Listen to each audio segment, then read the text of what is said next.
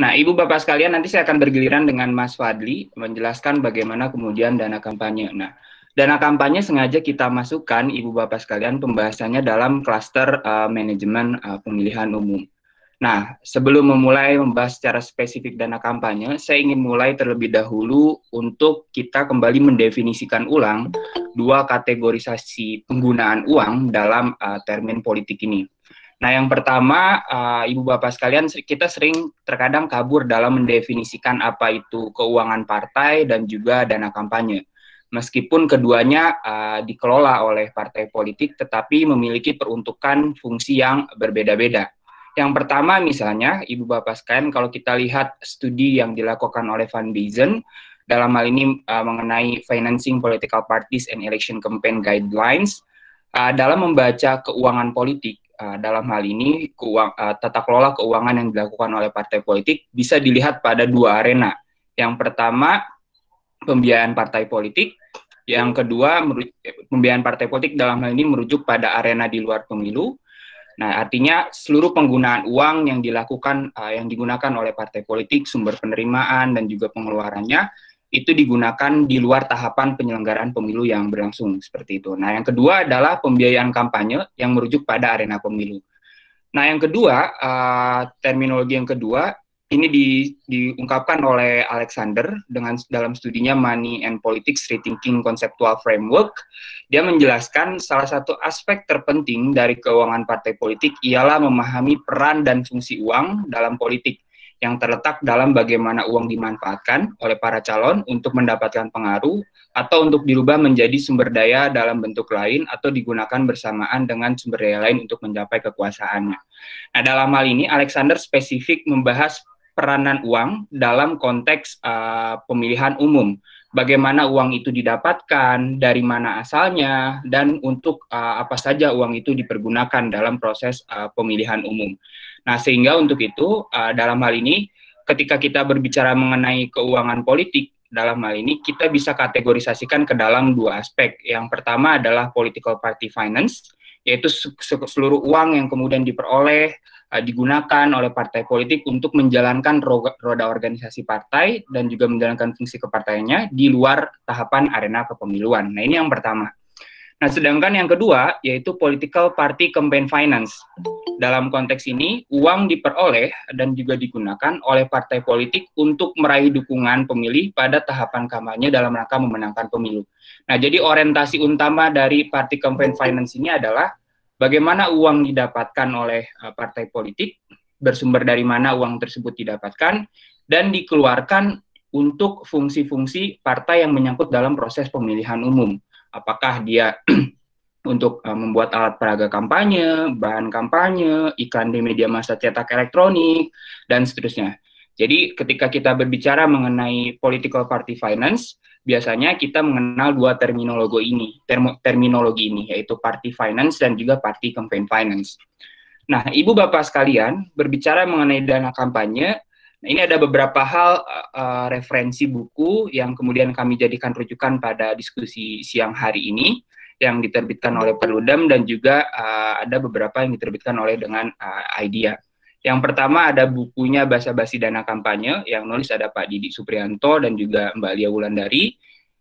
Uh, ini mohon maaf ada dua cover bukunya ada salah satu Nah, yang yang satu adalah anomali keuangan partai politik, yaitu peng, uh, di, yang ditulis oleh Mas Ferry Junaidi dan kawan-kawan. Dan yang ketiga yaitu adalah uh, pendanaan partai politik dan kampanye pemilu seperti itu. Nah, ada sebetulnya satu lagi buku terbaru yang diterbitkan kalau tidak salah tahun 2000 terakhir itu 2017, uh, 2016 atau 2017 itu tentang pengaturan dana kampanye uh, di pilkada yang keseluruhan buku ini Ibu Bapak sekalian bisa download di website Perludem. Nah, yang buku yang IDEA ini adalah kerjasama Perludem dengan IDEA yang kemudian diterjemahkan oleh uh, Perludem ke dalam bahasa Indonesia seperti itu. Nah, Ibu Bapak sekalian, ketika kita berbicara mengenai dana kampanye, biasanya terletak pada beberapa hal. Yang pertama yaitu adalah sumber dana kampanye. Dari mana uang itu berasal, Nah, biasanya kalau kita rujuk pada undang-undang pemilu ataupun secara konseptual mengenai political uh, party campaign finance, itu merujuk pada tiga aspek.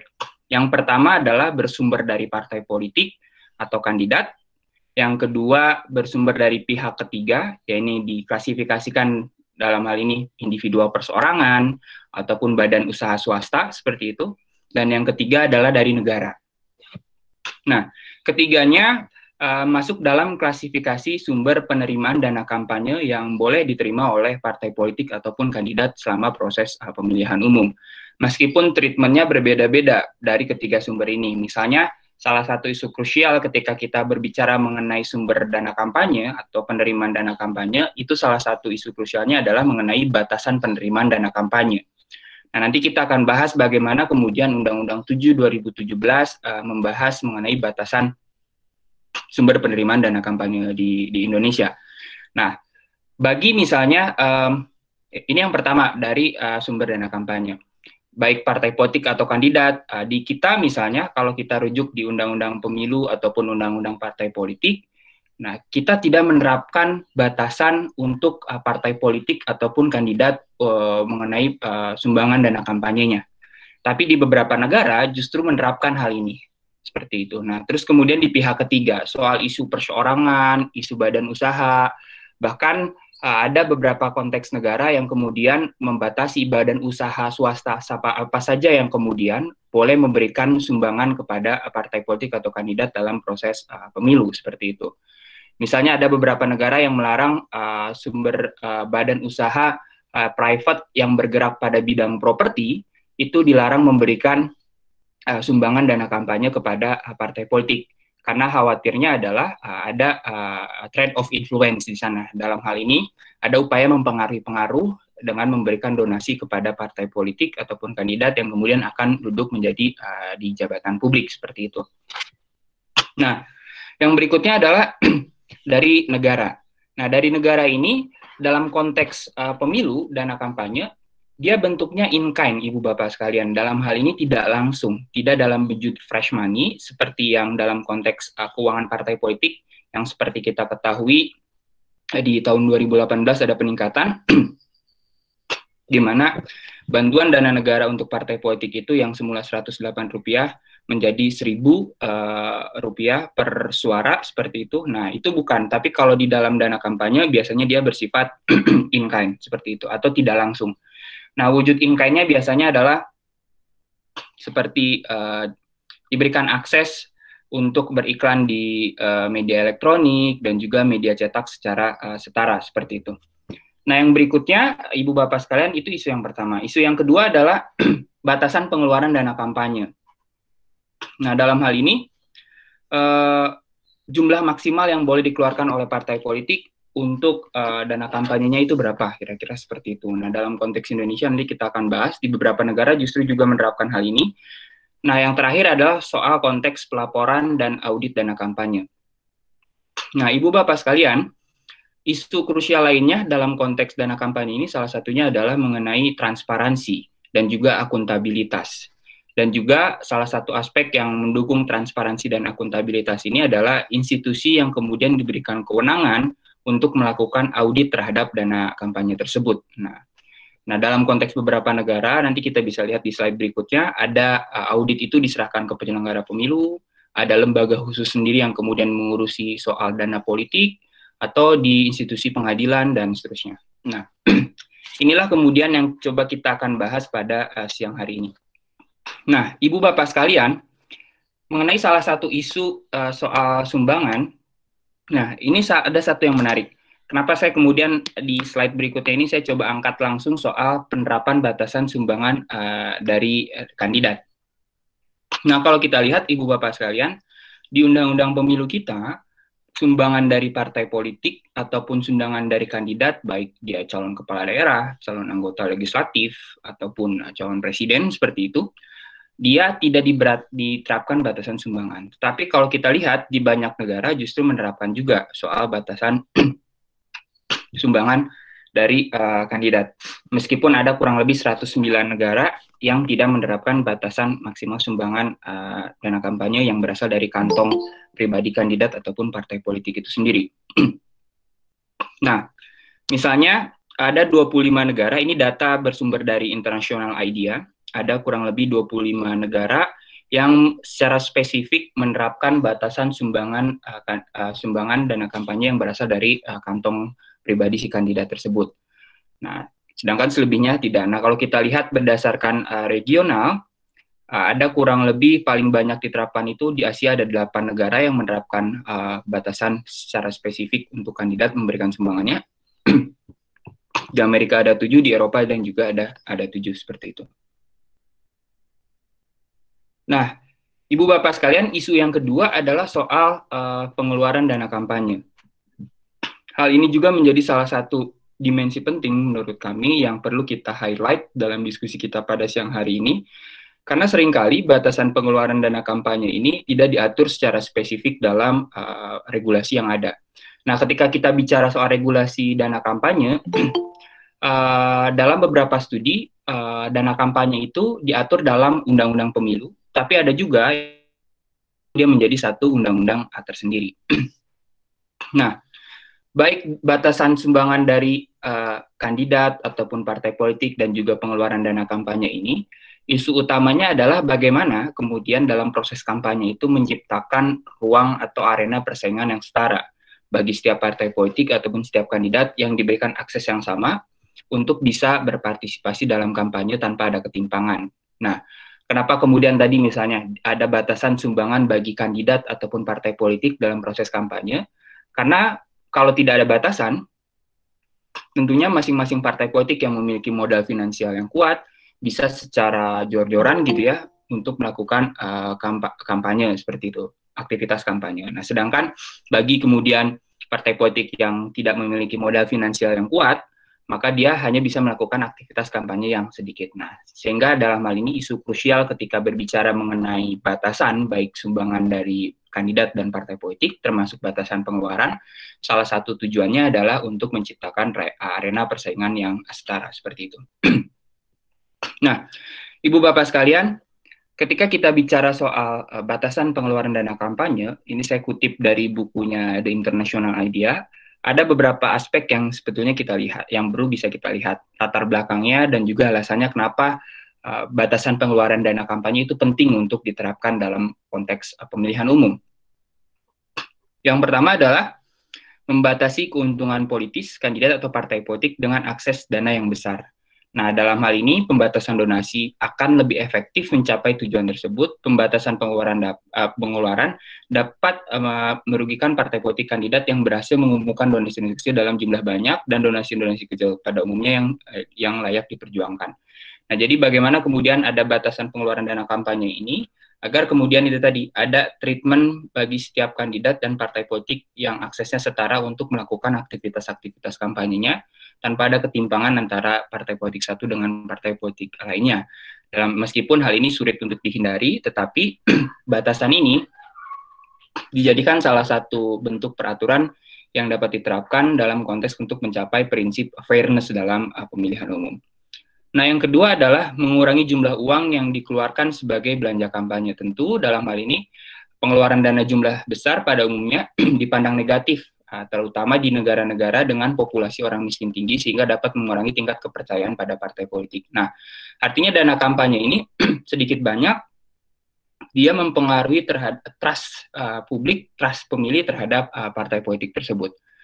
Nah, untuk itu Ibu Bapak sekalian, mohon maaf, uh, ketika kita berbicara mengenai uh, batasan pengeluaran dana kampanye ini, ada beberapa pertimbangan yang perlu uh, di, di, dilihat seperti itu ya. Meskipun kalau kita lihat dari data toolsnya The International Idea, jadi tidak ada satupun rumusan secara spesifik untuk menghitung kira-kira idealnya batasan sumbangan perseorangan, batasan sumbangan badan usaha, ataupun yang lainnya, ataupun perseorangan, idealnya itu besarannya berapa. Jadi memang tidak ada spesifik yang kemudian mengatur batasannya itu berapa, termasuk juga dimensi pengeluaran. Dari dimensi pengeluaran ini kira-kira batasan angka idealnya itu untuk pengeluaran itu berapa. Misalnya ada yang menerapkan dengan mekanisme dihitung dari segi jumlah pemilih dan juga luas uh, administratif daerah pemilihannya, seperti itu. Nah, dihitung misalnya satu pemilih hanya boleh di ya, di uh, satu pemilih dihitung misalnya 2 dolar dan di, kemudian di, di, dikali dengan jumlah total pemilih yang ada di situ, maka itulah kemudian menjadi batasan pengeluaran dana kampanye di, di, di, di daerah tersebut seperti itu. Nah, jadi sehingga jumlahnya berbeda-beda.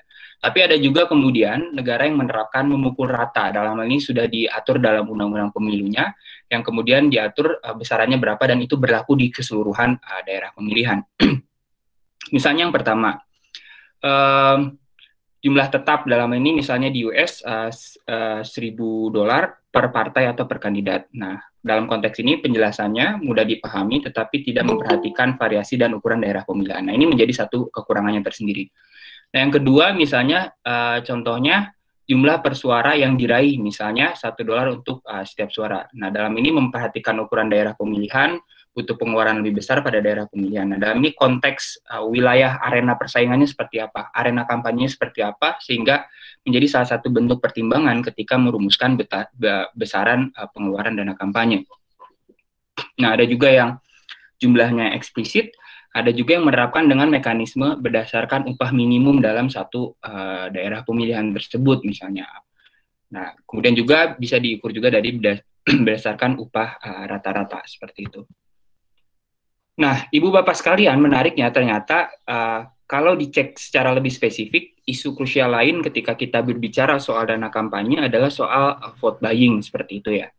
Nah, ternyata Ibu Bapak sekalian, kalau kita lihat komparatifnya datanya dari The International Idea, uh, mayoritas memang ada kurang lebih ini nanti uh, datanya ada kurang lebih 165 negara yang kemudian secara spesifik melarang uh, bagaimana kemudian pengeluaran dana kampanye itu salah satunya digunakan untuk uh, vote buying seperti itu atau pembelian suara. Nah, tetapi kalau kita lihat di sini ternyata ada juga uh, negara yang kemudian uh, membolehkan uh, kehadiran vote buying tersebut. Nah, ini negara-negara yang merah ini yang kemudian memperbolehkan uh, negara tersebut melakukan uh, vote buying seperti itu. nah, berikutnya Nah, yang berikutnya adalah soal isu yang ketiga tadi, adalah berkaitan dengan um, siapa yang berhak melakukan audit dan mendorong transparansi uh, dana kampanye. Nah, Ibu Bapak sekalian ternyata memang cukup bervariatif uh, dalam hal ini uh, di setiap negara yang punya otoritas untuk melakukan audit sekaligus uh, uh, lembaga tersebut yang menerima laporan dana kampanye dari partai politik ataupun kandidat. Meskipun kalau kita lihat dari datanya dari International Idea, sebagian besar ada 72 negara atau 40,9 persen dari total 176 negara yang dilacak oleh The International Idea, itu sebagian besar yang melakukan yang berhak menerima laporan dana kampanye dan juga melakukan uh, investigasi ataupun audit terhadap pelanggaran-pelanggaran dana kampanye, misalnya sumbangannya melebihi batas uh, seperti itu dan pengeluarannya melebihi batas standar yang sudah ditentukan dalam undang-undang. Nah, memang paling banyak itu adalah otoritasnya lembaga penyelenggara pemilu, yaitu uh, KPU-nya biasanya seperti itu. Nah, tapi ada juga ibu bapak sekalian yang di uh, yang kedua di grafik bisa kita lihat di sini ada 33 negara di mana uh, apa namanya uh, yang uh, berhak melakukan uh, penerima laporan dana kampanye dan juga melakukan investigasi atau pelanggaran terhadap uh, uh, uh, batasan sumbangan dan seterusnya itu adalah uh, lembaga audit seperti itu. Nah, tapi menariknya Ibu Bapak sekalian, kalau kita lihat di data yang berikutnya ada 21 negara, ada atau kurang lebih 11,9 persen yang kemudian uh, dalam proses investigasi uh, berkaitan dana kampanye ini itu menjadi kewenangan dari court atau dari institusi pengadilannya. Nah, ada juga 26 negara yang kemudian menerapkan mekanisme audit dana kampanye ini yang kemudian uh, dibentuk uh, lembaga tersendiri secara khusus yang kemudian uh, bertugas untuk menerima laporan uh, dana kampanye dan juga uh, audit dana kampanye tersebut. Nah, jadi memang ini cukup uh, bervariatif dari banyak negara seperti itu. Nah, Ibu Bapak sekalian, ini saya kutip uh, dari salah satu teman yang kebetulan waktu itu uh, teman dari Australia yang waktu itu sedang magang di Prudem Nah, dia kita waktu itu mengadakan riset kecil soal komparatif uh, pengaturan dana kampanye Indonesia dan Australia. Nah, tadi di awal disebutkan juga oleh Mbak Titi ada Mbak Ella di sini ya. Nanti Mbak Ella mungkin bisa sharing juga karena beliau studi S3-nya di uh, Australia. Nanti bisa sharing juga bagaimana sih ketentuan dana kampanye di Australia. Nah, Ibu Bapak sekalian menariknya uh, di Australia mekanisme penerapan pengaturan dana kampanye ini di masing-masing daerahnya itu berbeda-beda. Nah, meskipun kalau bisa kita lihat di sini dari kolom uh, di negara federalnya ada disclosure threshold. Dalam hal ini uh, setiap sumbangan yang diterima oleh uh, partai politik itu yang berjumlah lebih dari 13.800 uh, dolar uh, Australia gitu ya itu harus uh, dipublikasikan. Uh, namanya siapa, uh, latar belakangnya apa, kira-kira pekerjaannya apa, dan seterusnya seperti itu.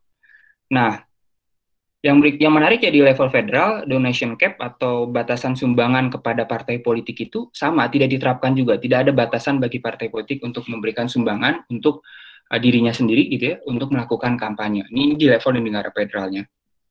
Nah, yang berikutnya anonymous donation threshold dalam hal ini uh, orang yang menyumbang di bawah 1000 dolar Australia itu tidak tidak apa-apa tidak dipublikasikan uh, namanya.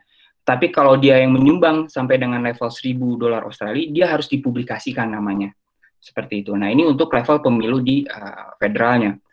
Nah, uh, yang berikutnya adalah expenditure cap dalam hal ini batasan sumbangan batasan pengeluaran dana kampanyenya di level pemilu federal pun tidak diterapkan seperti itu. Jadi yang diatur dalam konteks pemilu Australia di level federalnya itu hanya uh, apa namanya sumbangan uh, batasan sumbangan yang harus dipublikasikan itu 13.800 dan bagi mereka yang menyumbang kepada partai politik di bawah 1.000 itu tidak apa-apa, tidak disantumkan uh, namanya seperti itu. Nah, tapi Ibu Bapak sekalian kalau kita lihat di masing-masing negara bagiannya itu berbeda-beda.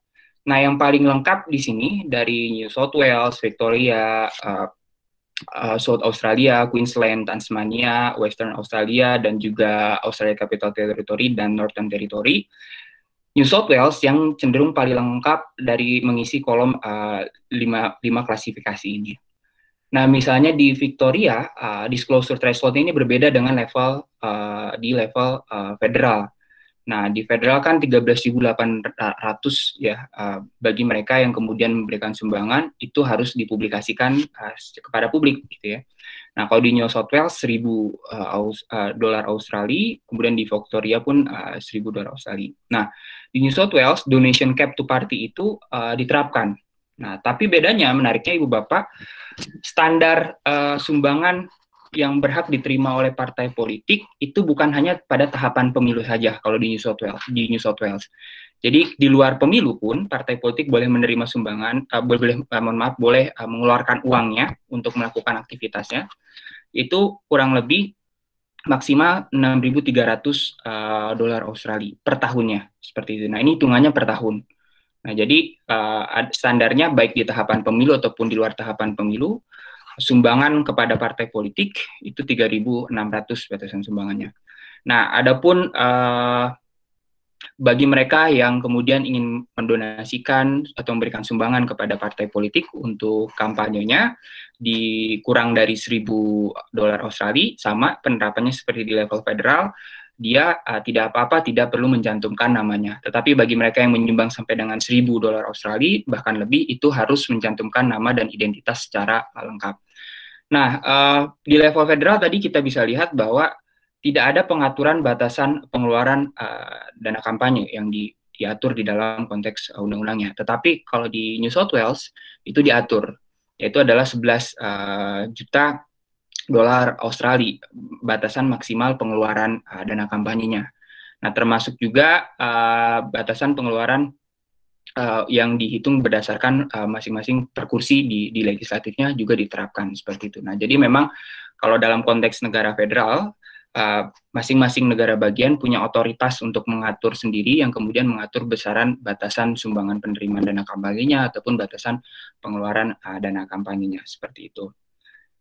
Nah, yang berikutnya adalah soal batasan sumbangan di Undang-Undang Pemilu dan Undang-Undang Partai Politik. Sengaja saya tampilkan Ibu Bapak sekalian. Nah, tadi kan di awal kita diskusi mengenai ada dua kategori dua kategori besar ketika kita berbicara mengenai keuangan partai politik. Satu political party finance, di mana uh, berbagai bentuk uh, dalam hal ini sumbangan, penerimaan yang didapatkan oleh partai politik dan juga pengeluaran yang dilakukan oleh partai politik di luar tahapan pemilu. Dan yang kedua adalah campaign finance atau dana kampanye yang itu peruntukannya khusus pada tahapan pemilu saja. Nah, menariknya Ibu Bapak sekalian dalam konteks Undang-Undang Pemilu di Indonesia dan juga Undang-Undang Partai Politik, ini ada treatment yang berbeda dalam mengatur batasan sumbangan. Nah, kalau kita lihat batasan dari badan usaha misalnya di Undang-Undang 7 2017 itu batasannya itu cenderung naik ada 25 miliar rupiah seperti itu. Nah, kalau kita lihat di Undang-Undang Pemilu yang menjadi payung hukum Pemilu 2004, awalnya itu 750 juta, kemudian di Pemilu 2009 naik menjadi uh, eh, 5 miliar, kemudian di Pemilu 2014 naik menjadi tujuh setengah miliar, dan di Pemilu terakhir kemarin mencapai dengan 25 miliar seperti itu, Ibu Bapak sekalian. Nah, kalau kita compare dengan Undang-Undang Partai Politik, nah Undang-Undang Partai Politik justru berbeda besarannya. Nah, meskipun di antara Undang-Undang 2 2019 dengan Undang-Undang 8 2012 itu sama, tujuh setengah miliar. Tetapi kalau kita lihat di undang-undang sebelumnya, pola pengaturannya ini sedikit berbeda antara Undang-Undang Pemilu dan Undang-Undang Partai Politik berkaitan mengatur mengenai batasan sumbangan dari badan usaha swasta seperti itu. Nah, pun demikian dengan perseorangan. Nah, kalau kita lihat perseorangan pun ada peningkatan uh, batasan maksimal sumbangan yang berhak diterima oleh partai politik ataupun kandidat dalam pemilu. Di pemilu 2004 bermula dari 100 juta, kemudian menaik jadi 1 miliar sumbangan perseorangan di 2009, kemudian di 2012 atau di Undang-Undang 8 2012 yang menjadi payung hukum pemilu 2014 naik tetap masih 1 miliar, dan terakhir di Undang-Undang 7 2017 naik menjadi dua setengah miliar.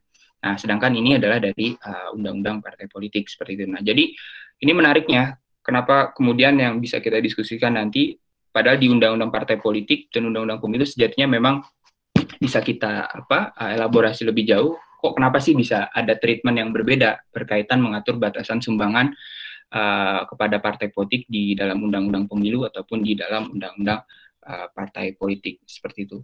Nah berikutnya Mas Fadli, silakan Mas Fadli. Ya, makasih uh, Mas Heroik uh, tadi Mas Rek sudah menjelaskan uh, studi-studi internasional terkait dengan uh, pengelolaan uh, kampanye di dalam sebuah proses uh, pemilu. Dan tadi di slide sebelumnya uh, sudah disinggung pula terkait dengan perbandingan batasan sumbangan di antara undang-undang pemilu dengan undang-undang partai politik. Jadi uh, memang uh, ada semacam uh, pemahaman yang belum clear ya Eh, ketika melihat uh, tata kelola keuangan partai politik secara keseluruhan dengan uh, bagian atau satu bagian dari uh, sektor pengeluaran partai politik itu pengeluaran di dalam sebuah proses pemilu. Nah, padahal kalau mau dilihat dalam kerangka yang lebih utuh, pengeluaran partai politik di dalam sebuah proses pemilu uh, itu kan menjadi salah satu uh, item pengeluaran saja dari partai politik secara keseluruhan. Nah, makanya mesti ada pengaturan yang konsisten antara pengaturan di dalam undang-undang partai politik dengan dalam undang-undang pemilu yang tujuannya sebetulnya adalah uh, memberikan batasan untuk mengarah kepada peningkatan akuntabilitas dan transparansi tata kelola keuangan partai politik dan dana kampanye. Nah, uh, berikutnya adalah soal larangan penerimaan uh, sumbangan dana kampanye. Jadi di dalam regulasi kita itu ada beberapa hal yang dibatasi uh, yang kemudian menjadi larangan bagi para peserta pemilu untuk menerima sumbangan dana kampanye. Yang pertama, sumbangan dana kampanye tidak boleh uh, berasal dari pihak asing. Nah, baik as, uh, pihak asing secara uh, apa namanya uh, badan usaha maupun secara uh, perorangan. Nah, yang kedua, sumbangan yang tidak memiliki identitas yang jelas. Ini sebetulnya uh, pengaturan yang bisa disebut sebagai pengaturan yang berada di term yang sangat umum dan sebetulnya yang ingin dikejar dari pengaturan ini adalah memastikan semua uh, sumber uang yang masuk kepada peserta pemilu itu harus berasal dari identitas yang jelas Artinya ada sumbernya. Ini uangnya dari mana? Karena kalau uh, ada uang yang masuk kepada peserta pemilu tetapi uh, tidak mencantumkan identitas yang jelas, uang tersebut tidak bisa dipergunakan untuk aktivitas kampanye.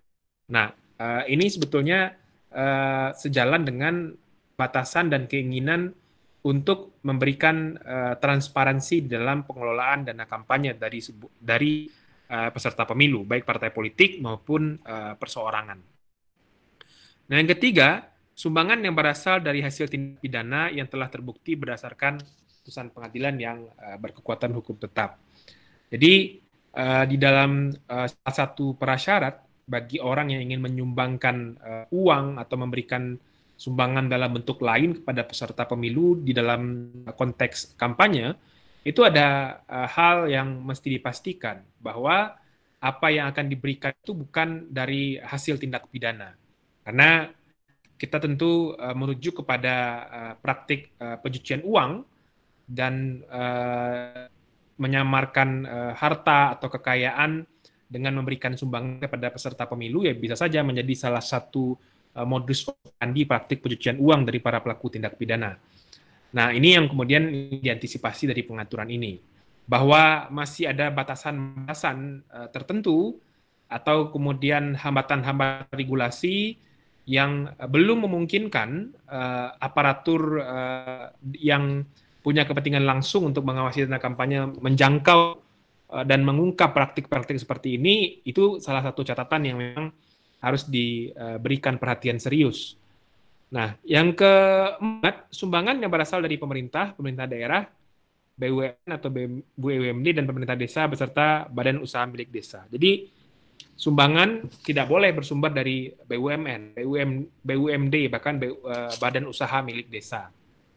Karena pada prinsipnya tidak boleh kemudian eh, dana kampanye itu berasal dari eh, apa namanya uang atau kekayaan yang dikelola oleh negara karena pada prinsipnya BUMN kan bagian dari uh, kekayaan negara yang kemudian dipisahkan.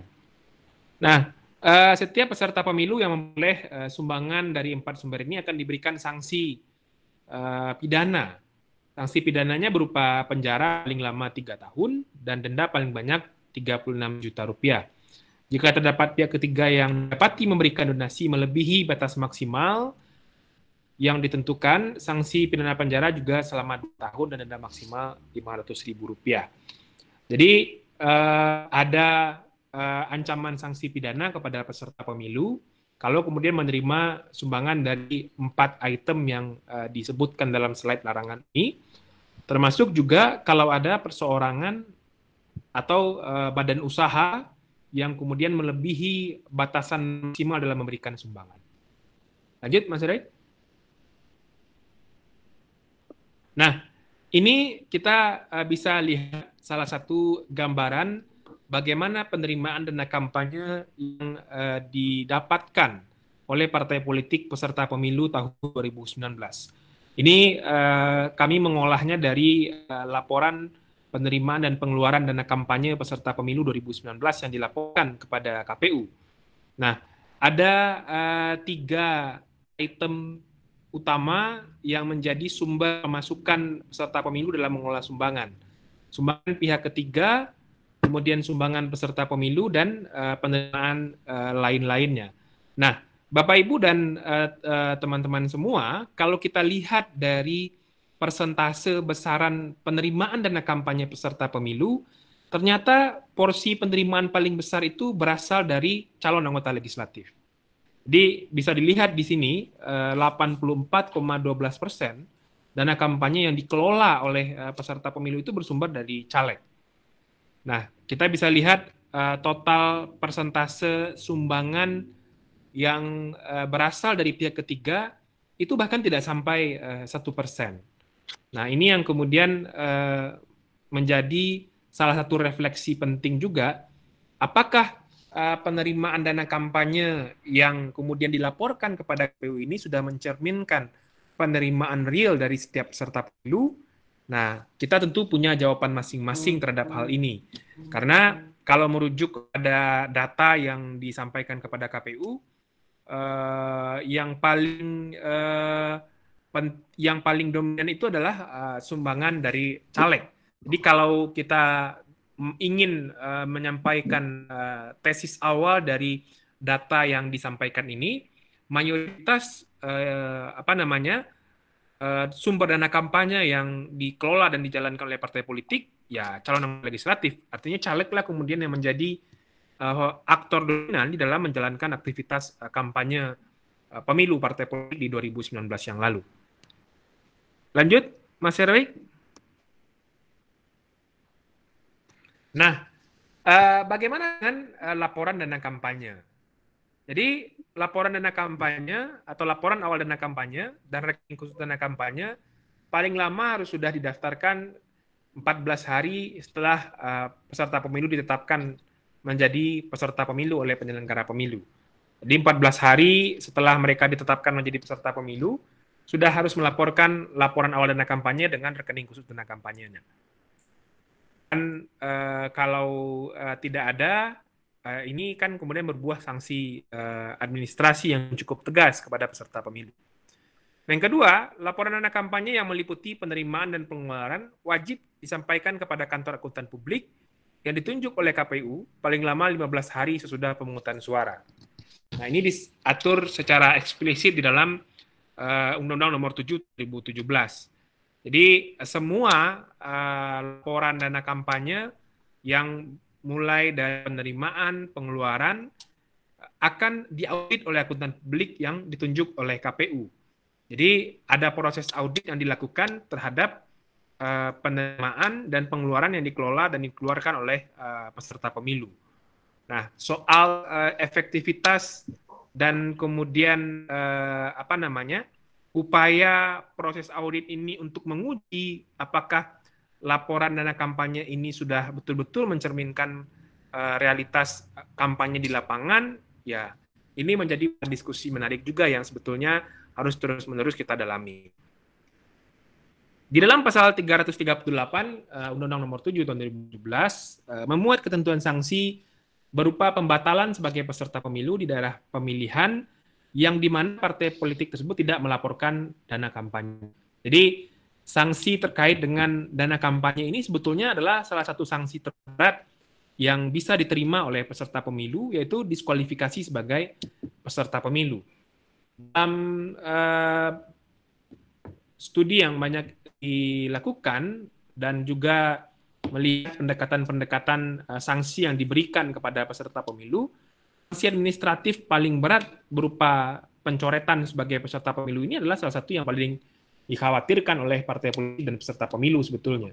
Karena esensi awal dan tujuan dari uh, partai politik maupun pasangan calon maupun perseorangan tentu mereka ingin mengikuti sebuah proses pemilu dan bisa terlibat di proses uh, suara. Nah, kalau kemudian mereka diancam dengan sanksi berupa pembatalan sebagai peserta pemilu, ini tentu hal yang paling dikhawatirkan. Dan selain berpotensi memberikan uh, efek jera, karena ini salah satu bentuk sanksi yang paling dikhawatirkan, menurut saya ini bisa memberikan daya cegah juga kepada peserta pemilu untuk tidak melakukan hal-hal yang kemudian uh, berpotensi melanggar ketentuan peraturan perundang-undangan. Tapi sejauh mana ini memberikan efektivitas terhadap uh, pendekatan akuntabilitas uh, laporan dana kampanye, nah nanti bisa menjadi bahan diskusi menarik bagi kita. Lanjut, Mas Erik. Nah, ini uh, transparansi laporan dana kampanye yang kemudian uh, sudah uh, disampaikan oleh uh, peserta pemilu kepada KPU dan kita juga sebetulnya bisa mengakses laporan ini uh, di dalam uh, platform uh, yang sudah disiapkan oleh KPU terkait dengan laporan-laporan dana kampanye yang disampaikan oleh pasangan calon atau disampaikan oleh peserta pemilu.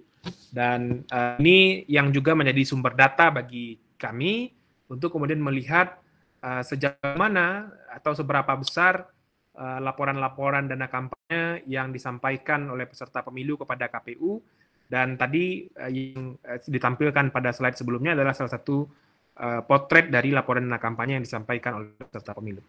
Lanjut, Mas Rek.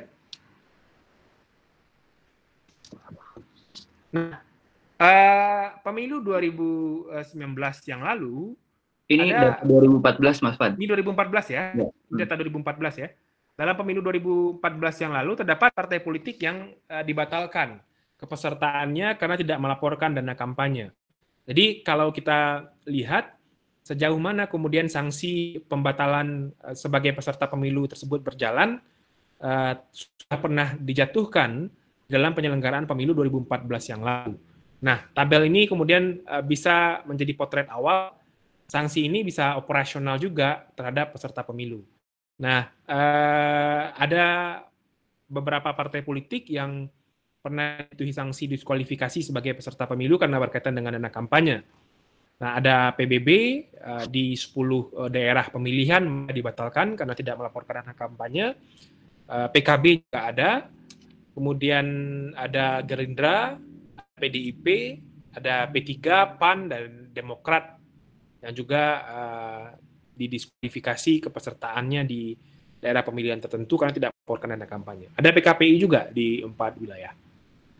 Lanjut. Nah, uh, istilah kampanye ini menjadi salah satu uh, hal yang sangat penting untuk mengukur sejauh mana integritas pemilu.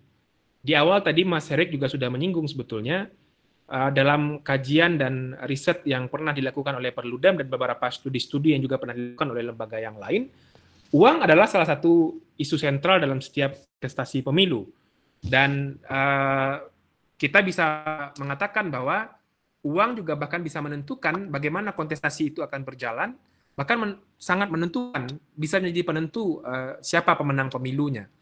Nah, kita semua tentu memahami bahwa penggunaan uang menjadi salah satu hal yang diperbolehkan dalam sebuah proses pemilu. Maka diatur sedemikian rupa. Bagaimana uang boleh diperboleh di, di, dikeluarkan dalam sebuah proses pemilu, bagaimana kemudian uh, per, apa, peserta pemilu bisa menggunakan uang untuk kemudian uh, upaya mereka dalam sebuah pemenangan pemilu. Tapi penggunaan uang tersebut mesti uh, berangkat dari prinsip transparansi dan akuntabilitas karena itu akan menjadi salah satu hal yang paling mendasar bagaimana kemudian pertanggungjawaban dari peserta pemilu tersebut setelah dia duduk sebagai pejabat politik atau pejabat publik setelah uh, kontestasi pemilu. Itu sangat memberikan pengaruh.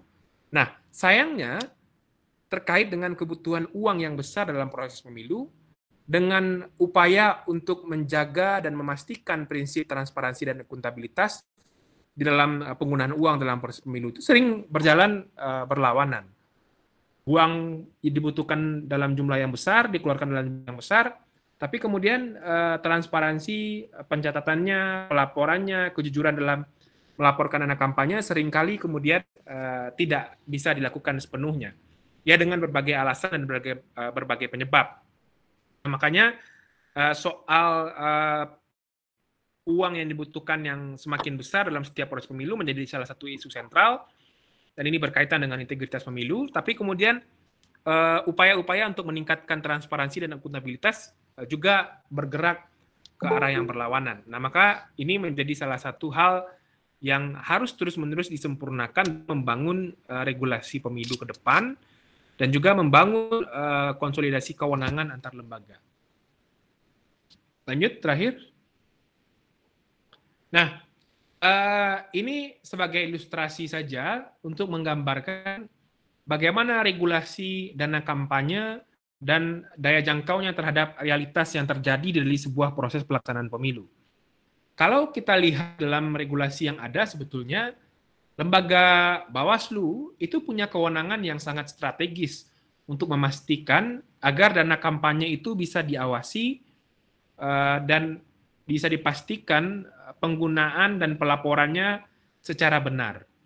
Karena Bawaslu punya kewenangan dalam melakukan pengawasan pada setiap tahapan pemilu. Dan dalam pengawasan tersebut, mereka tentu punya informasi, punya data yang cukup, eh, punya analisis untuk kemudian menjadi informasi berapa sebetulnya realitas dana kampanye yang dikeluarkan oleh seorang peserta pemilu dari aktivitas-aktivitas yang dia lakukan. Dari uh, data informasi dan analisis tersebut harusnya dalam dalam tataran yang sangat ideal Bawaslu punya informasi pembanding dari uh, dana kampanye yang dikeluarkan oleh peserta pemilu dengan membandingkannya dengan laporan yang disampaikan kepada KPU. Karena kan laporan dana kampanye disampaikan kepada KPU, sementara Bawaslu hanya mengawasi saja. Kalau kemudian hasil pengawasan, informasi, data, dan analisis Bawaslu Ternyata dana kampanye yang dikeluarkan di dalam aktivitas real tidak sesuai dengan apa yang dilaporkan uh, oleh peserta pemilu kepada KPU, ada indikasi itu terjadi pelanggaran dalam pelaporan dan kampanye. Nah, tetapi uh, tantangannya juga sangat banyak untuk bisa uh, mencapai kepada kondisi ideal tersebut. Ada banyak hal ya. Pertama soal konsolidasi kewenangan yang belum maksimal antara uh, Bawaslu, PPATK, bahkan mungkin bahkan mungkin juga OJK sebagai otoritas yang mengawasi uh, pemberian jasa-jasa keuangan, termasuk juga KPK. Jadi uh, bagaimana kemudian penataan sinkronisasi kewenangan dan uh, kolaborasi ya uh, atau semacam uh, penyatuan dalam sebuah sistem antar lembaga yang punya kewenangan masing-masing ini untuk kemudian memaksimalkan kewenangan yang mereka miliki guna memastikan uh, peredaran uang, kemudian uh, apa namanya penggunaan uang dalam proses pemilu itu bisa dipertanggungjawabkan secara benar. Nah ini yang belum ada. Bagaimana uh, singgungan-singgungan kewenangan antara Bawaslu, PPATK, KPK itu bisa betul-betul memberikan kontribusi yang positif untuk memastikan transparansi dan akuntabilitas dan kampanye. Dan menurut saya ini menjadi salah satu isu yang penting untuk didorong di dalam uh, regulasi pemilu ke depan. Nah, ada beberapa hal yang kemudian menjadi penyebab kenapa belum ada atau belum bisa dipenuhinya ekspektasi kita soal eh, Bawaslu yang punya kewenangan mengawasi bahkan kemudian juga punya kewenangan menang, menang, eh, menangani pelanggaran untuk kemudian fokus di dalam pengawasan uh, dana kampanye ini. Nah, pertama uh, pemodal yang terlibat di dalam uh, kontestasi pemilu ini kan sangat banyak. Orang-orang yang kemudian punya kepentingan terhadap kontestasi pemilu, mengeluarkan uang terhadap uh, peserta pemilu itu sangat banyak sekali. Dan akses dan ke, akses serta uh, sistem yang kuat untuk kemudian menjangkau ini masih sangat terbatas. Ada juga operator lapangan yang mesti diawasi oleh Bawaslu. Ada tokoh masyarakat juga yang terlibat, ada relawan, ada tim sukses, dan sumber daya manusia Bawaslu yang terbatas. Dan termasuk juga daerah pemilihan yang luas dan banyak ini menjadi tantangan untuk bisa mengawasi dana kampanye yang dikeluarkan oleh peserta pemilu ketika membandingkan aktivitas real di lapangan yang mereka lakukan dengan uh, laporan dana kampanye yang disampaikan kepada KPU. Nah, ini yang kemudian uh, kita rasakan uh, kondisi objektif yang hari ini ada di dalam uh, dana pengelolaan dan tata kelola dana kampanye ketika kita membandingkannya dengan upaya untuk menjaga dan meningkatkan uh, integritas pemilu. Itu Mas Herwig, Bapak Ibu dan teman-teman semua, terima kasih. Assalamualaikum warahmatullahi wabarakatuh. Waalaikumsalam warahmatullahi wabarakatuh. Baik, terima kasih Mas Wadli, Ibu Bapak sekalian. Tadi uh, sedikit pemaparan dan pemantik diskusi kita pada siang hari ini. Nah, silahkan Ibu Bapak jika ingin ada yang bertanya ataupun ingin menambahkan, uh, kami persilahkan seperti itu. Ini akan saya coba lihat dulu dari komentar ya Mas Fadli ya. Oke, yang pertama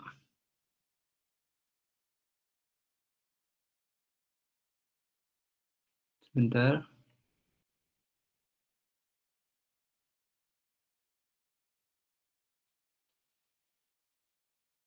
Nah, ini ada yang menarik nih dari uh, Pak Zafran um, mengenai uh, Mas Mas Fadli dan Mas Oik kalau boleh nanti dibahas juga mengenai parpol di Indonesia dilarang mendirikan badan usaha ya. Nah, um, menarik sebetulnya Pak, uh, waktu itu uh, kalau kita lihat memang dalam konteks uh, komparatif politik di beberapa partai politik di banyak negara, badan usaha itu diperkenankan didirikan oleh uh, partai politik untuk memenuhi kebutuhan uh, uh, keuangan partainya seperti itu. Nah, ternyata kalau dicek, nah kalau kita pakai uh, data toolsnya International Idea, situasi ini berkaitan sekali dengan entitas partai politik itu. Dalam hal ini, apakah kita akan mengkategorisasikan partai politik sebagai uh, organisasi private atau dia sebagai organisasi publik? Nah, ketika dia organisasi private dalam konteks ini, kemandirian itu harus lebih dikedepankan bagaimana kemudian intervensi dari sumbangan dari luar, uh, intervensi sumbangan dari negara itu cenderung uh, apa tidak uh, tidak diperkenankan untuk memberikan sumbangan kepada uh, partai politik karena hal ini menjamin kemandirian partai dalam uh, uh, dalam mengambil keputusan uh, keputusan dan juga kebijakan-kebijakannya. Nah, Uh, ketika uh, partai politik diposisikan dalam konteks seperti itu, ternyata uh, di situlah kemudian muncul uh, konsep di mana uh, partai politik diperkenankan untuk mendirikan badan usaha yang dikelola oleh secara internal partai politik dalam rangka memenuhi uh, kebutuhan uh, kepartaiannya. Nah, tetapi di sisi lain ketika uh, partai politik diposisikan sebagai uh, institusi publik, nah dalam hal ini artinya dia kemudian bantuan dana dari negara, sumbangan dari individual perseorangan atau dana publik, itu kemudian uh, diperkenankan karena dia kemudian uh, sebagai otoritas apa uh, entitas publik sehingga berhak negara bertanggung jawab untuk uh, membiayai partai politik tersebut. Nah, ketika dia diposisikan sebagai entitas publik, nah ternyata badan usaha ini cenderung uh, apa namanya uh, tidak boleh uh, ada kira-kira seperti itu. Nah, it, itu isu yang pertama yang pernah saya ketahui. Nah, yang kedua adalah uh, soal uh, uh, intervensinya Pak ketika uh, partai politik di, diperkenankan mendirikan badan usaha Nah, dalam uh, beberapa kasus sepemahaman saya ini membuka ruang apa ya uh, namanya uh, pengaruh di masing-masing partai politik terhadap badan usahanya.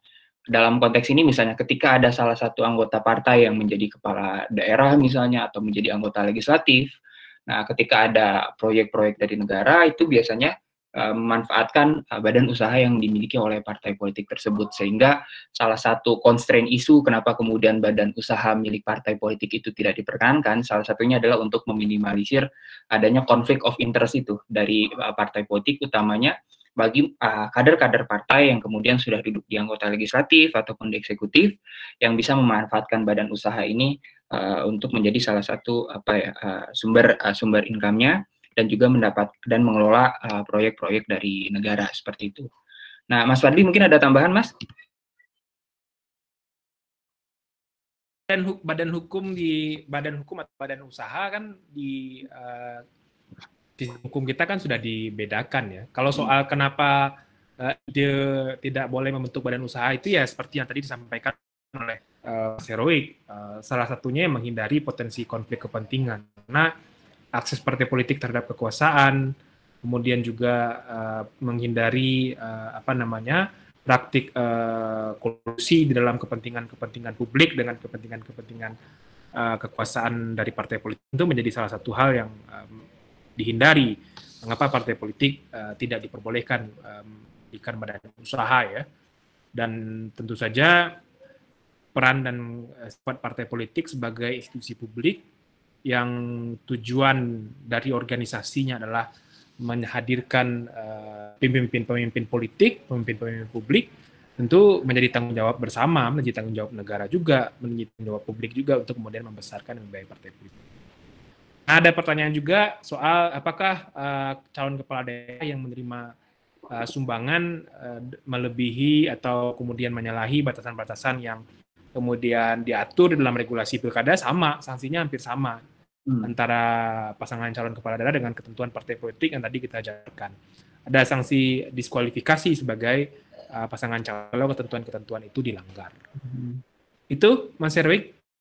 Ya, um, menariknya uh, Ibu Bapak kemarin di awal tahun kami baru publikasi hasil riset kami uh, uh, soal pemenuhan dana kampanye calon anggota legislatif perempuan di Dapil DKI Jakarta 2. Nah, Ibu Bapak sekalian, kami di sana selain memetakan uh, aspek khusus uh, bagaimana kemudian uh, uh, calon anggota legislatif perempuan memenuhi dana kampanyenya, tapi kami juga petakan uh, tiga laporan dana kampanye ini, LADK, LPSDK, dan juga LPPDK laporan awal dana kampanye yang kemudian uh, di awal harus dilaporkan oleh partai politik, kemudian laporan penerimaan dan sumbangan dana kampanye ini di tengah-tengah ketika partai politik uh, apa uh, berkampanye dan yang terakhir ada di laporan penerimaan dan pengeluaran dana kampanye.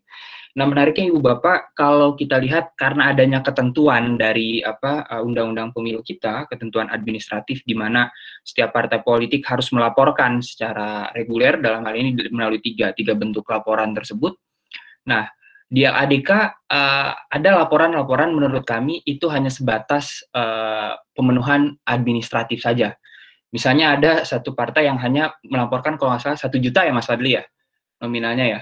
Nah, hanya ada satu juta, terus di LPSD ya.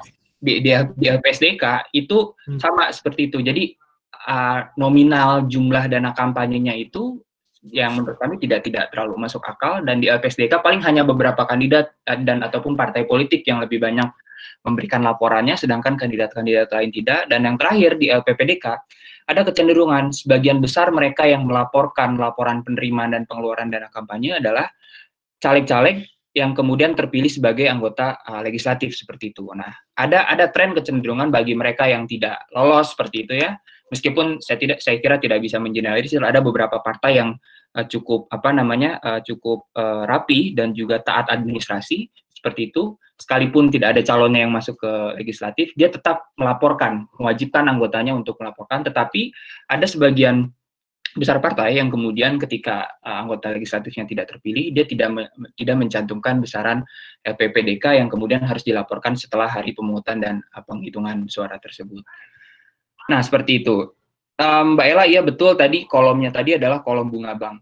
Nah, kenapa tadi sebetulnya kami masukkan Ibu Bapak uh, potret uh, penerimaan dana kampanye di pemilu 2019 lalu di pemilu DPR dari sumbangan pihak ketiga, sumbangan partai politik dan juga caleg.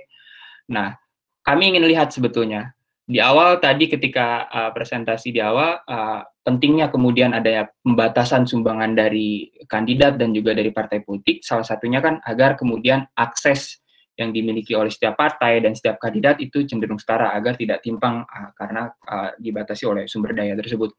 Nah, tapi dari tabel tersebut sebetulnya kita lihat sebagian besar uh, sumber penerimaan partai politik dan juga sumber penerimaan uh, dana kampanye itu adalah berasal dari kantong pribadi calon dan juga kantong dari partai politik.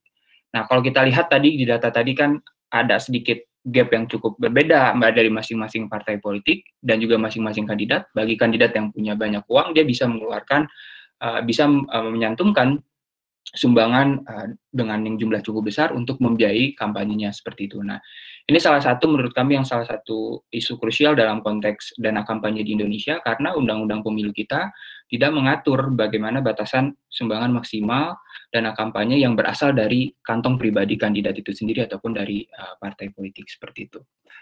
Uh, berikutnya Pak Damang mau bertanya langsung, silakan Pak Damang. Halo. Halo Pak Damang. Ya. Silakan Pak Damang. Uh, singkat saja ya. Iya Pak. Nah, di PKPU nomor 5 tahun 2017 itu di pasal uh, kalau nggak salah di pasal 54 sama pasal 34-nya keterlambatan LPPDK untuk paslon itu kan bisa dibatalkan di situ.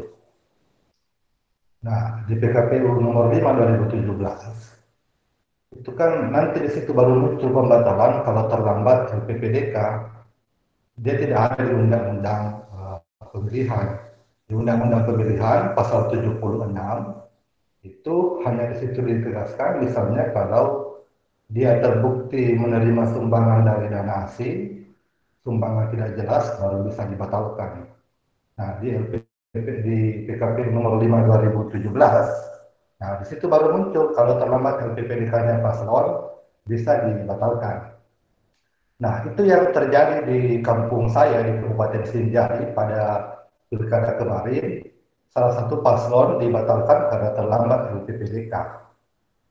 Nah, yang jadi soal adalah dia sudah dibatalkan, tapi masih terdapat di surat suara sehingga dia dipilih gitu dia dipilih di oleh pemilih pada hari H.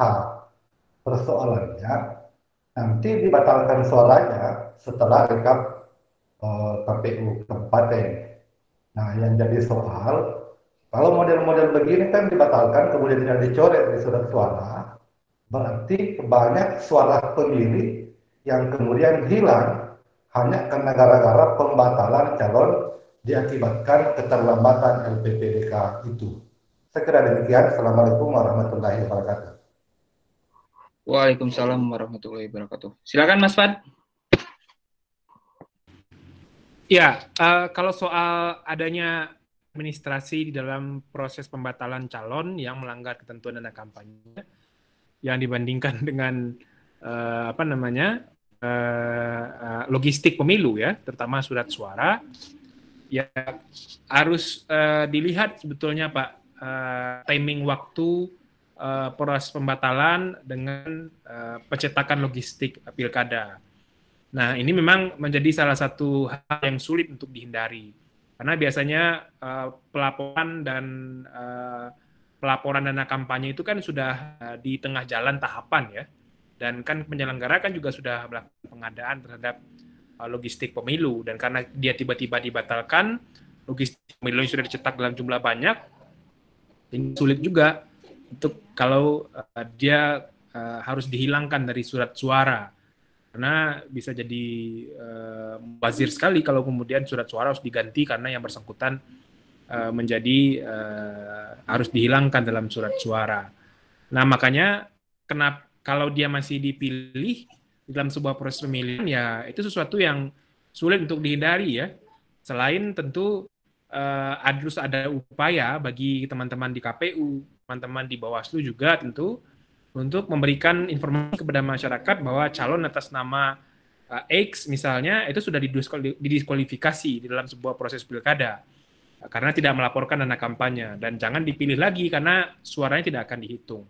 Tapi kalau kemudian berhadapan dengan uh, apa namanya uh, masih ada pemilih yang mencoblos yang bersangkutan, uh, tentu menjadi sebuah hal yang sulit sekali dihindari karena manajemen logistik pemilu dengan proses penegakan hukum terhadap uh, apa namanya uh, pasangan calon yang melanggar ketentuan dana kampanye memang tidak selalu uh, seiring sejalan time frame waktunya.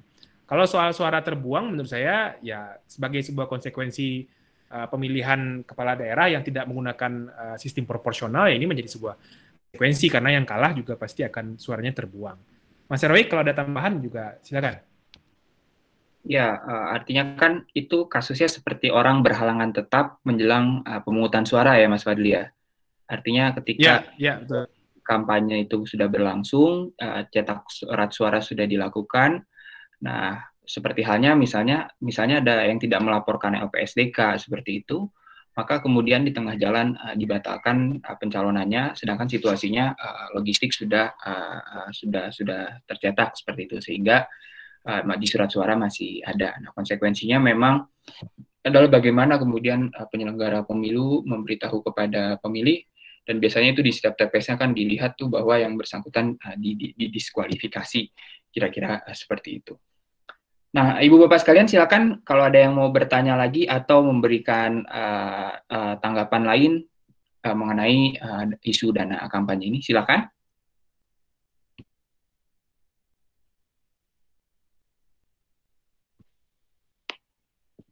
Pak Didi ada tambahan Pak Didi?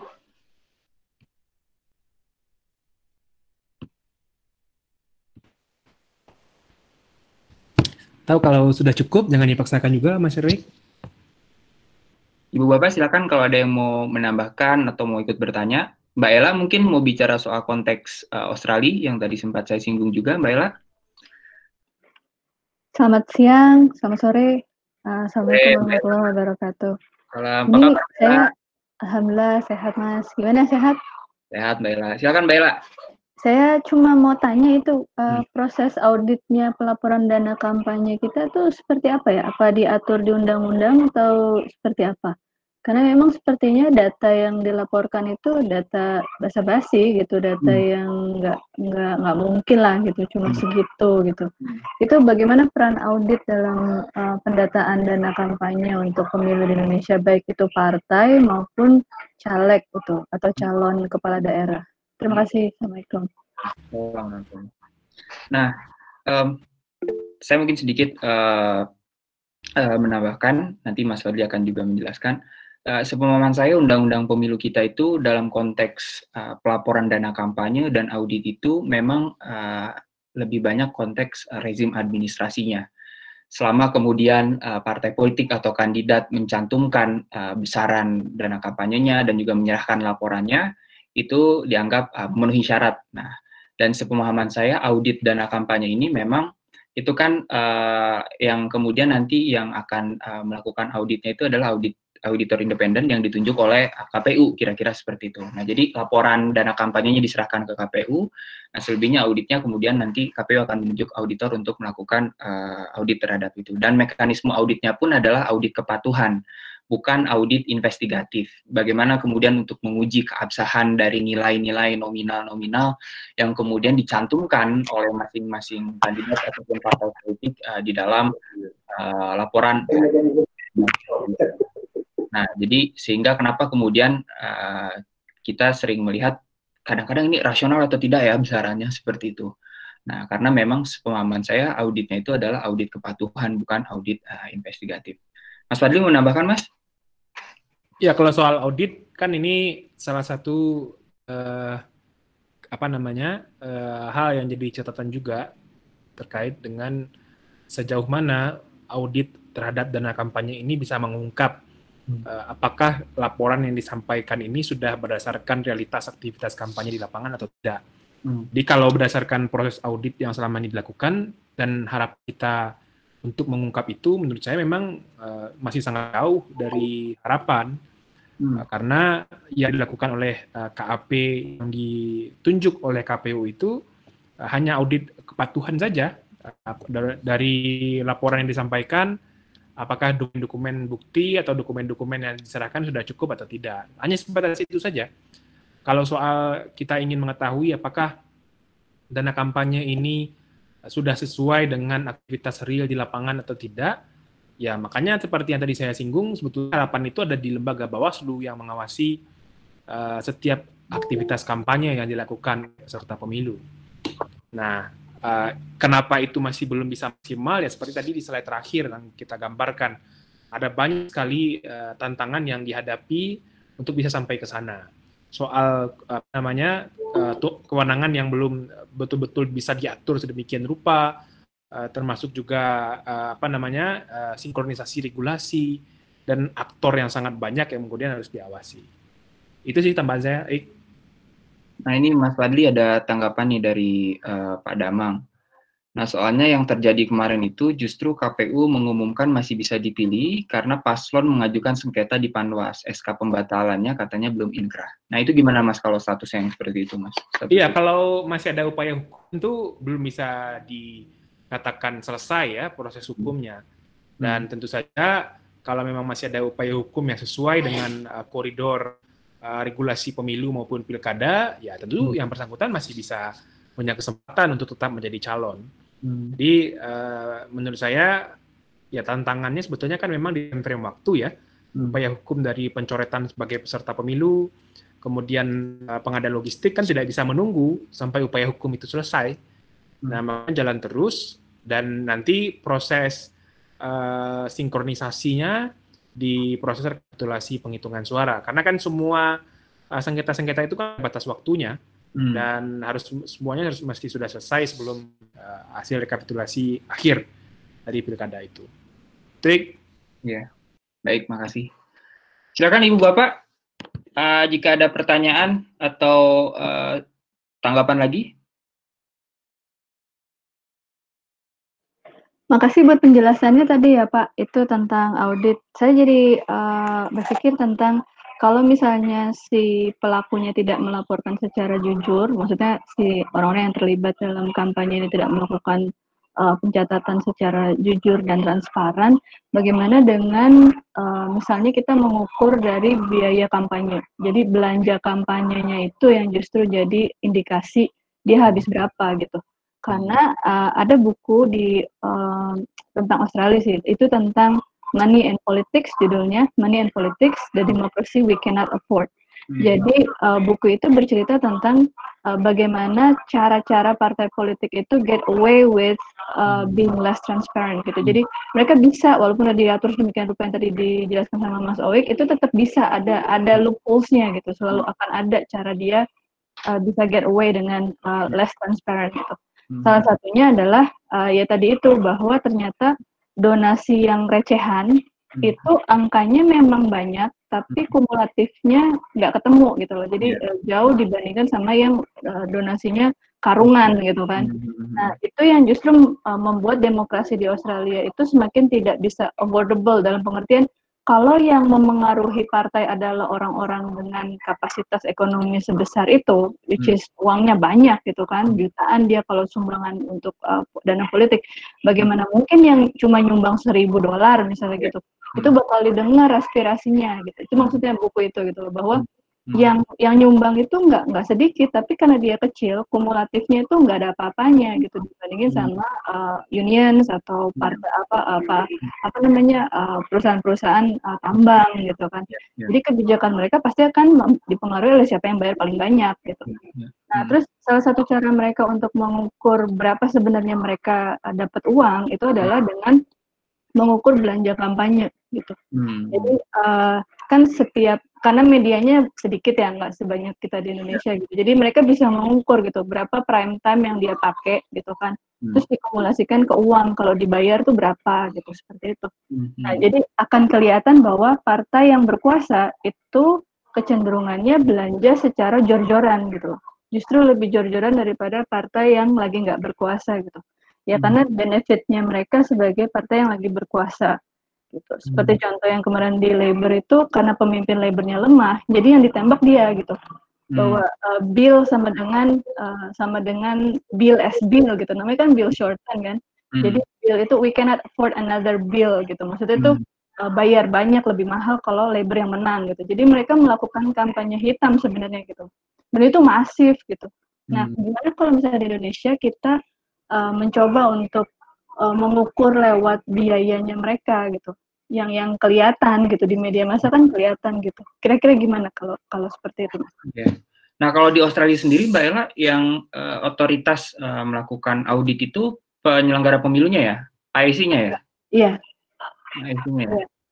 oke okay. jadi kalau disimulasikan uh, dari setiap laporan dana kampanye yang kemudian diserahkan oleh masing-masing partai politik uh, ke AIC, kemudian AIC akan melakukan audit investigatif dengan mengukur kira-kira di real pengeluaran di lapangan itu berapa seperti itu ya Mbak Mbak Ella atau justru dilihat dari segi jumlah laporan keuangan yang diberikan kepada uh, kumulatif yang diberikan oleh partai politik ke ASC atau dia berjalan paralel antara kedua ini Mbak Ella. Jadi yang menarik kalau di sistem uh, pembiayaan uh, politik di Australia itu adalah hmm. Donatur itu bisa mengklaim hmm. donasinya mereka hmm. sebagai pengalihan pajak. Oh. Jadi mirip bisa dianggap seperti charity gitu ya. Hmm, gitu. Ya, ya, ya. Itu itu justru barang buktinya dia. Oh saya nyumbang ke labor kemarin 200 dolar misalnya gitu. hmm. gitu. Itu dia hmm. akan uh, tax returnnya dia laporkan itu gitu. Hmm. Jadi biaya dia untuk membayar tax misalnya dia kurang bayar pajak dia bisa ngeklaim oh kemarin sudah bayar 200 sudah dianggap tax seperti itu. Hmm. Jadi uh, memang bisa di trace back gitu. Siapa hmm. nyumbang berapa seperti hmm. Tapi yang tadi saya bilang bukunya Tam ini tentang uh, democracy that we cannot afford itu justru lebih menunjukkan bahwa itu kan yang receh gitu. Hmm, iya, Padahal iya. yang lebih berpengaruh itu yang ngasihnya jutaan gitu dan besar. Nah, seperti misalnya liberal kemarin di Perth itu kan uh, juaranya liberal kan si uh, Julie Bishop kan. Dan hmm. emang udah kawakan gitu. Jadi daerah Perth itu terutama uh, distriknya Curtin itu semua tuh pasti milih dia gitu. Hmm. Nah, kalau mereka bikin uh, gathering atau fundraising gitu, oh itu kelihatan banget orang-orang kayaknya muncul gitu untuk untuk jor-jor gitu untuk ngasih uang gitu. Ini pribadi ya, gitu. Jadi yang nggak kelihatan justru itu yang lebih berbahaya. Jadi itu hipotesa utama si buku ini gitu, bahwa uh, demokrasi kita tuh semakin nggak affordable, semakin dikuasai sama korporat sehingga kita nggak bisa mempengaruhi politisi kita. Jadi memang memang agak berbeda gitu karena uh, lebih sulit untuk uh, berbohong ya gitu untuk mengakali datanya tapi tetap yeah. bisa gitu dia dia tetap bisa yeah, yeah. jadi kalau misalnya di Indonesia saya cuma mau tanya nih misalnya mm -hmm. perlu apakah ada kajian tentang mm -hmm. uh, kampanye biaya kampanye uh, hmm. yang kita lihat di media massa misalnya hmm. seperti itu mungkin itu lebih real gitu berapa yeah. kira-kira biayanya misalnya satu halaman tuh berapa misalnya gitu hmm. uh, pernah nggak seperti itu pendekatannya Nah, uh, kita pernah Mbak Ella uh, buat studi itu, cuman memang ini di pemilu uh, pemilu tahun sebentar saya cek. Uh, ini yang tulis waktu itu Pak Didi dan Mbak Lia uh, judulnya Basa Basi Dana Kampanye, Mbak. Nah, di, di buku itu salah satunya coba compare nih dana real yang kemudian dilaporkan oleh partai dengan realitasnya itu seperti apa sih di lapangan, berapa pengeluarannya dan, dan seterusnya. Nah, ini uh, melihat seperti uh, yang komparatif dalam konteks dana real yang dikeluarkannya itu berapa di lapangan dengan dana yang uh, di apa dilaporkan oleh uh, oleh oleh par, oleh partai politik seperti itu. Nah, cuman memang ini studi tahun 2013 ya waktu itu yang memang harus uh, kita cek lagi uh, apa kebaruannya dari pemilu 2019 lalu misalnya. Ini bisa jadi salah satu studi komparatif.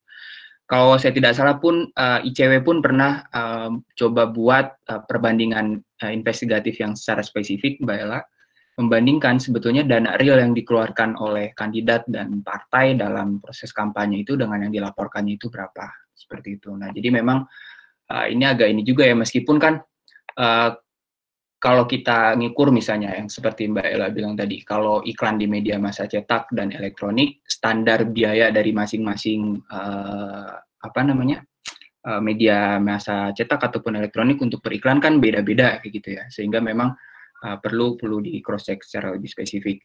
Nah, tapi menariknya misalnya kalau dalam konteks Indonesia kita memang setahu saya tidak ada batasan pengeluaran dana kampanye, Mbak, Mbak Ella, ya, yang kemudian ini jadi salah satu problematik ketika kita ingin uh, apa misalnya melakukan mekanisme audit dan juga pelaporannya seperti yang dirujuk Mbak tadi di Australia.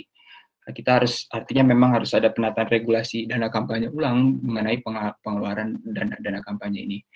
Nah, misalnya di Undang-Undang 7 2017 kita itu kan dan ini sudah berlaku sejak Pilkada 2015, iklan media massa cetak dan elektronik itu kan sekarang dibiayai oleh negara. Nah, artinya partai politik dan kandidat tidak boleh uh, melakukan uh, mengeluarkan dana kampanye untuk iklan media massa cetak dan elektronik tersebut. Bahkan juga alat peraga itu difasilitasi beberapa oleh uh, negara, tetapi selebihnya untuk alat peraga dan bahan kampanye, partai politik dan kandidat tetap bisa mengeluarkan uangnya sendiri.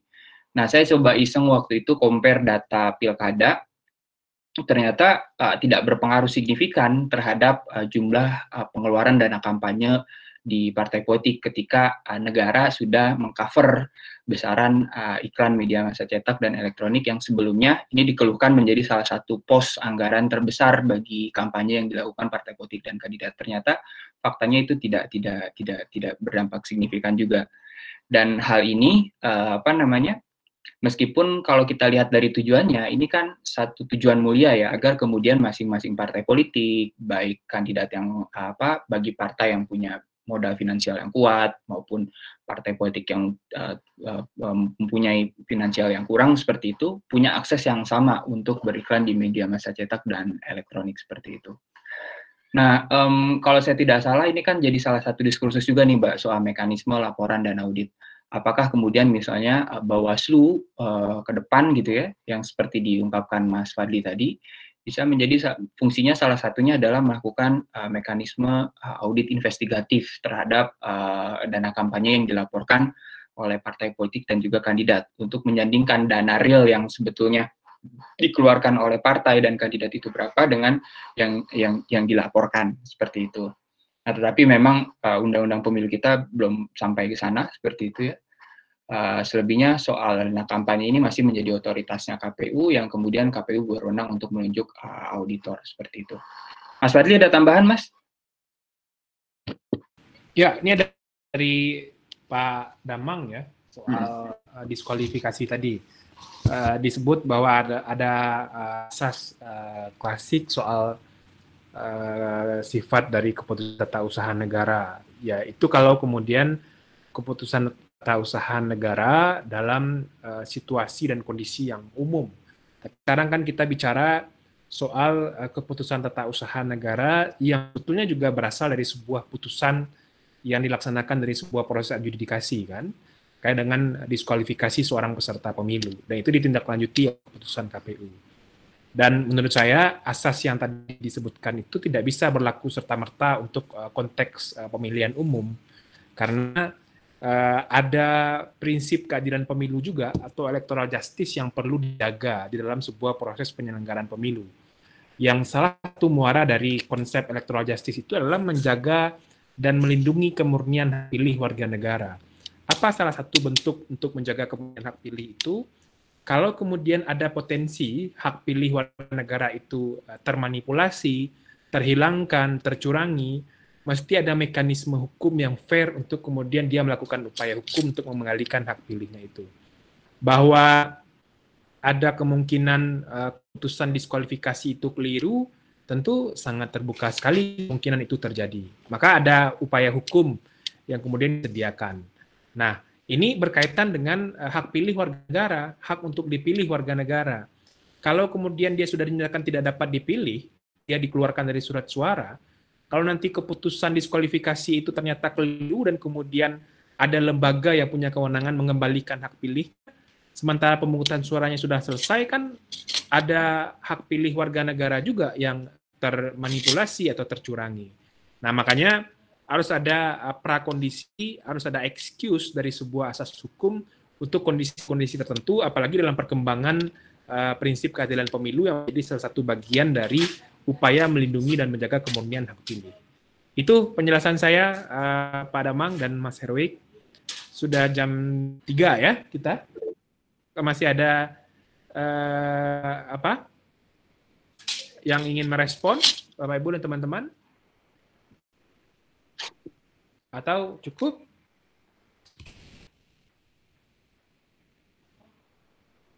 Ada lagi Ibu Bapak?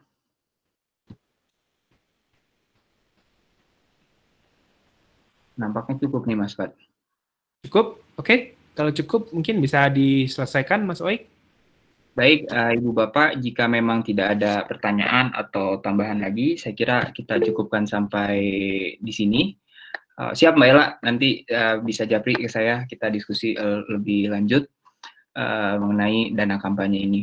Nah, jadi menarik memang Ibu Bapak sekalian studi soal dana kampanye ini khususnya dalam konteks Indonesia di tengah momentum revisi Undang-Undang Pemilu, saya kira ini bisa jadi satu diskursus menarik bagi kita untuk memikirkan ulang mekanisme pengaturan uh, dana kampanye di Indonesia agar lebih transparan dan juga uh, akuntabel seperti itu.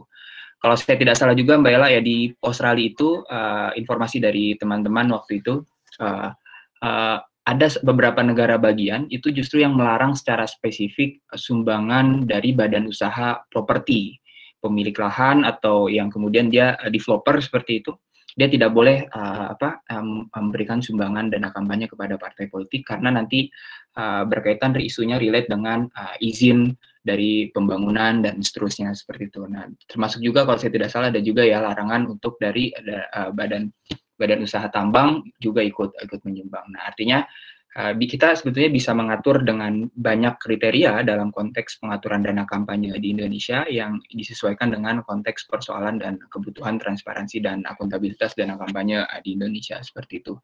Nah, uh, baik Ibu Bapak sekalian, jika memang tidak ada pertanyaan atau tanggapan lagi, kita cukupkan sampai di sini. Nanti insya Allah hari Senin kita kembali Ibu Bapak sekalian di kelas virtual Perudem.